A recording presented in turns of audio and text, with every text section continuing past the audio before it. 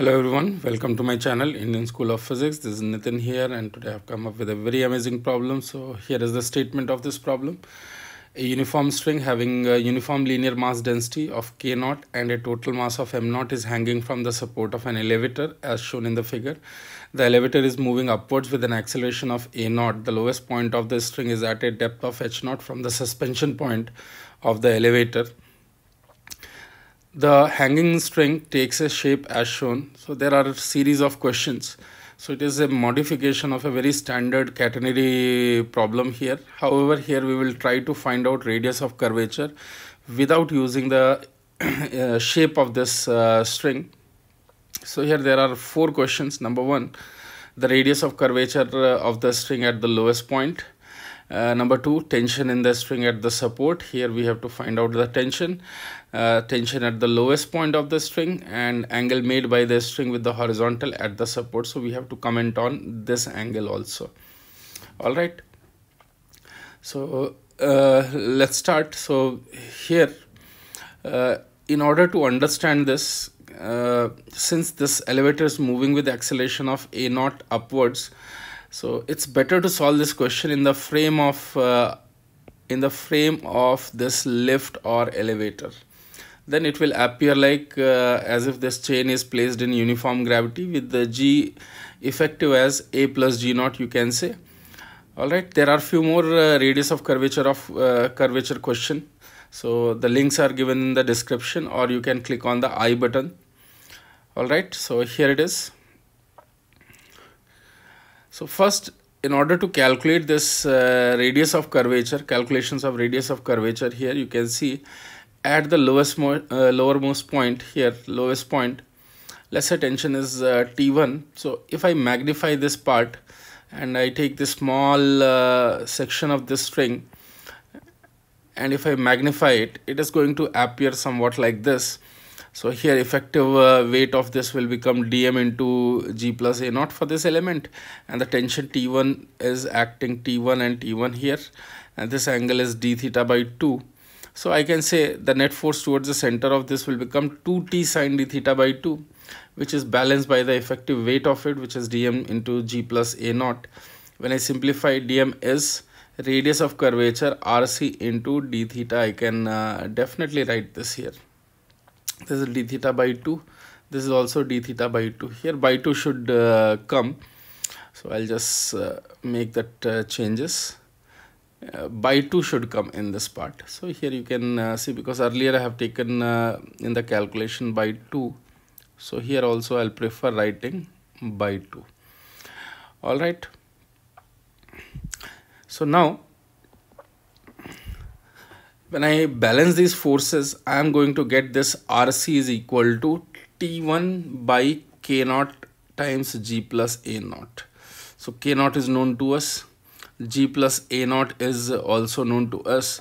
So if somehow I can find out this tension T1, if this value is known to me, I'll get the answer for radius of curvature. And in the one of the part, we have to find this tension at lowermost point as well. So in order to calculate now the tension T1 here, I will take uh, the free body diagram of the half part of the chain. And here if this tension is T1 definitely at the support this tension must be T1 because because uh, the string is in equilibrium. And this vertical tension uh, component if this angle is alpha here this angle is also going to be alpha. So this vertical component I can write T1 tan alpha or total tension will be T1 times root of 1 plus tan square alpha. This is the total tension at the support and vertical component however is T1 tan alpha. So this T1 tan alpha is going to be total effective weight divided by 2 which is going to be m naught g plus a naught by 2. So here Mm, we are getting the expression of t1 but we are introducing one extra unknown as well.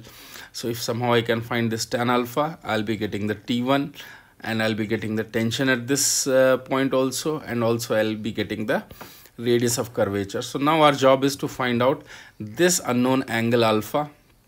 So calculation of this angle alpha here. Now I can uh, see since this uh, the part hanging part of the chain or rope or a string is at rest. So net force on it will be balanced. So here this tension I can take uh, let's say at general X. If I take an element it is making angle of uh, theta with the horizontal.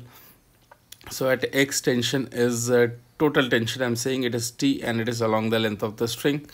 And here tension is changing slightly. That is going to be T plus dt these angles are also changing but those are minute changes in order to form the differential equation. I can say along this line forces must be balanced. And uh, since actually these angles are going to be some theta 1 and theta 2 so there will be one component of tension this side as well which is balancing the dmg uh, cos theta. And uh, this gap of tension is going to balance dmg sine theta. So here i can write uh, this tension is t and this is t plus dt so this dt is going to be mass per unit length into length of it that is mass into effective g effective g i'm calling as g star. So that i have to write uh, slightly lesser. It will not be a big expression. So k naught dl is that mass into g star into its sine theta component. That must be equal to d theta. When i do that when i do that here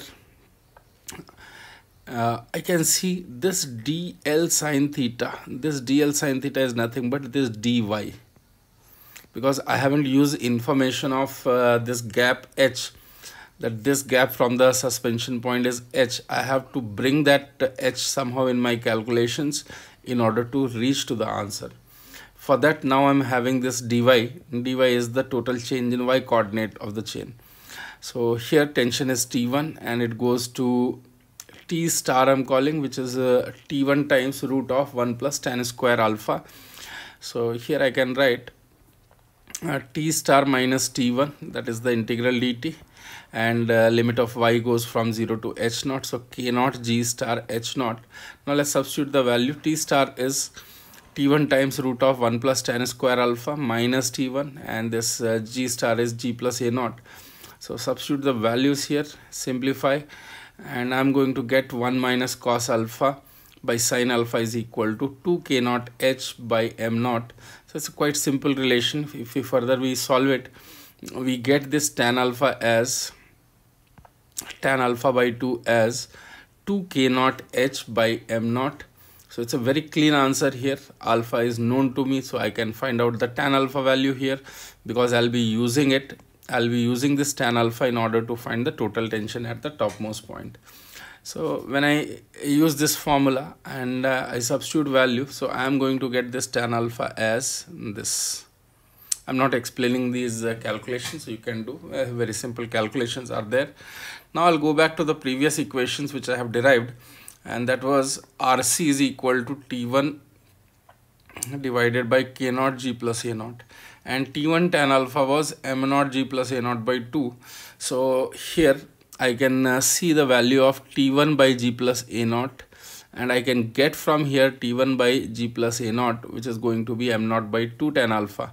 So by k naught. So this is my uh, radius of curvature.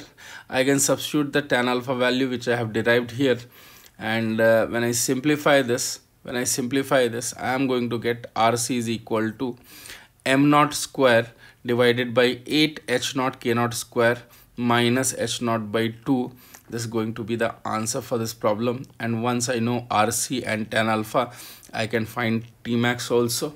And if I substitute this tan alpha value here I'll be getting this T1 also though those steps I'm not writing here but uh, I hope it is known to you that all four options are all four questions which were asked are known to you. So this is it I hope you have enjoyed this solution. This is a very unique problem and very nice problem as well. Without using the equation of curve, we are able to find this radius of uh, curvature. So check out other problems of radius of curvature on my channel. So uh, if you have enjoyed this video, please leave a like, share your uh, uh comments with me and suggestions also. And uh, please uh, share this video with all your friends and teachers if you haven't subscribed my channel please subscribe it. Thank you. Thank you very much